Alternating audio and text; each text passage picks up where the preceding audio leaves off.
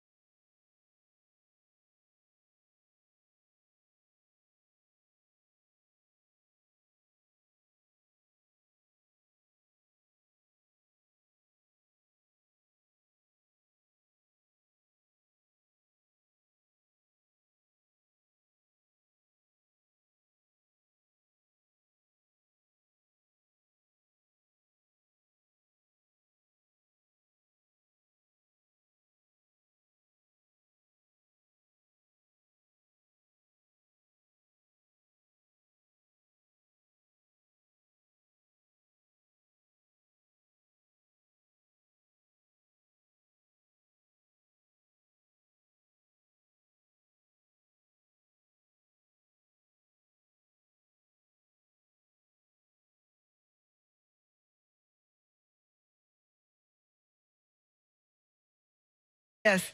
Now I know Sonya and Kanya aren't just here with some birthday wishes. Oh. They got another surprise up their sleeves, but you're gonna have to wait and here's the deal.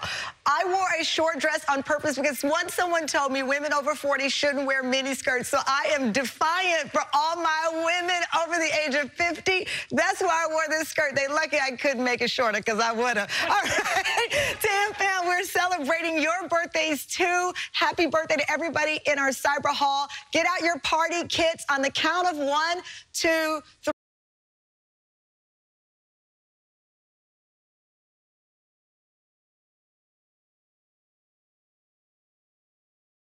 You have another surprise. I can't take it, Jeff. I really can't. Listen.